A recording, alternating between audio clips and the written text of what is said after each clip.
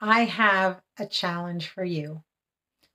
No, it's not one of these challenges like 30 days or what have you, but something that might be pretty easy to apply for you and your family. So, hello everyone. My name is Tzipi Livnet. I'm a nurse and a certified food addiction counselor and the creator of GPS to Sugar Free, which is a program to help people who feel like sweets and these like sweets and baked goods and junk food has taken over their life. It's how to get free from sugar addiction. But my weekly live is basically to give you some tips and um, help motivation for people who would like to limit their sugar their sugar intake or maybe yes maybe detox from sugar and get free a big thing that has a lot of people who do my workshops, GPS to Sugar Free or my GPS to Sugar Free program, um, learn about how really toxic sugar can be, especially when it is consumed in larger than very small amounts.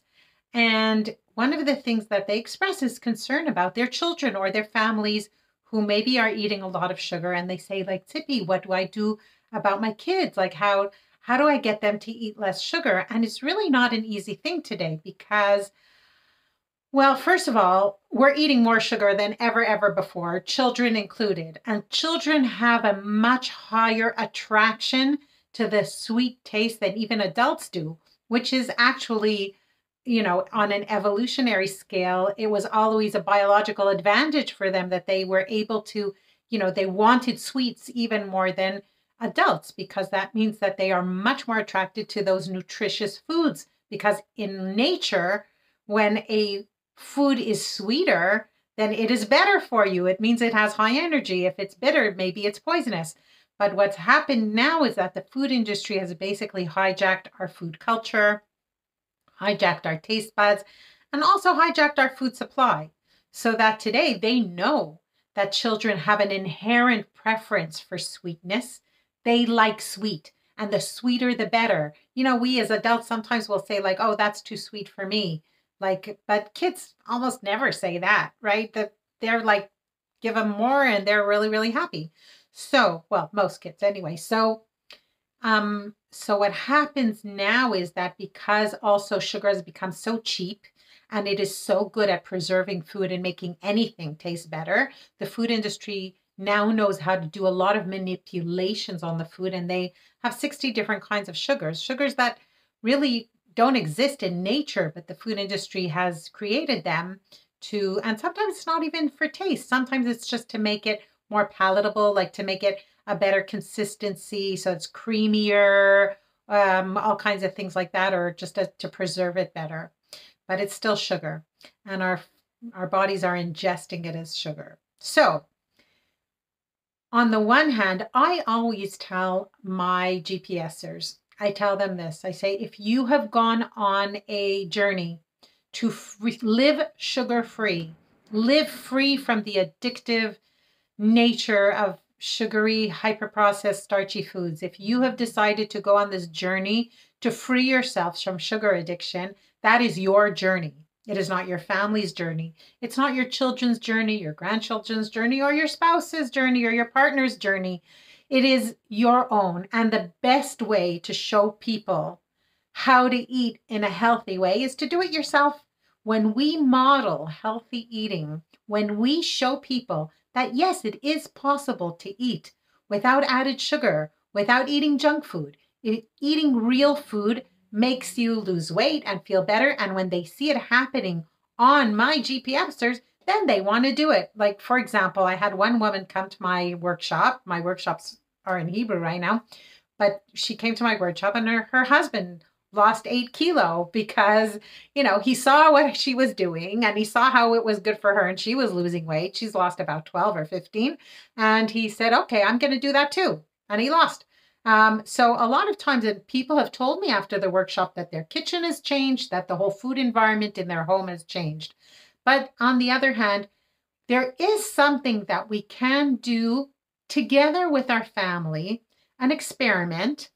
And I would say don't even call it a challenge, call it an experiment and and encourage them to make this experiment together as a family.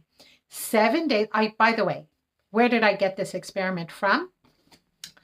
I got it from this book. I have already showed you this book, Sugar Proof by Professor Michael Goran and Emily Ventura. It's it, I think that any parent who has children and is concerned about how much sugar they're eating should read this book. But he gave a great idea. Like they gave a great idea, which is make an experiment. Seven days, a no sugar added breakfast, just breakfast. Okay, so which means eating a protein, eating a healthy carbohydrate like oatmeal, no cereals, right, with, with white flours, eating whole wheat toast, but no cereals, no junk food, no chocolate spread on the, you know, on toast or jam or um, or these sugary yogurts or something like that. Just real food and no added sugar. So if let's say in the oatmeal, if you want something sweet, put in whole fruit. Also not dried fruit because that's already a high concentrate in sugar, but whole fruit. For seven days, anybody can do anything for seven days. Okay. But as a family, try having for seven days a non sweetened breakfast, just with healthy fats, healthy proteins, vegetables, fruit, and healthy grains. And see what happens. Do it for a week and then have a family meeting, and everybody can say what they noticed about that week. One of the things that they may notice, your kids and your and your family, is that maybe they have better concentration during the morning. Maybe they always have this like sort of like energy down, like they need something sweeter, they need to eat something around 10, 11 o'clock, and suddenly they're not having that. Maybe your kids are going to notice that they're concentrating better in school, or your your partner is concentrating better at work. Maybe um, they will just notice that they feel better. They're in a better mood in the morning than they were before. So this is a really, really interesting exper- experiment you can do with your, um, you know, with your, fr- maybe have a group of friends do it or with your family and just see if this is something that makes a difference for them. And I would love to know if this suggestion that was in this book, Sugar Proof, if this suggestion really works the way that they describe it in the book. So if you see this video, please like it, comment on it. And if you do the seven day no breakfast experiment or challenge, call it whatever you want to call it, um, let me know how it goes. Now, if you're watching this on my English YouTube channel, then subscribe to my channel and hit that notification button so that every time my new Facebook Live or a new video comes out, you will know about it and you'll be able to watch it. So I'm really curious to see if uh, anybody hears, you know, if uh, people who here see this video, even if you're seeing a recording of it after it's been recorded, if you've done the challenge, let me know how it goes. I'm really, really curious to know. So, who is here with me? Thank you very much for giving that like, and I can't see who it is, but thumbs up, same to you. And um, pass this video on if you like it and you want to give it a try. Have a great week. Have a wonderful day. Love you guys, and I'll see you here next Sunday at 2 p.m. Israel time. Bye bye.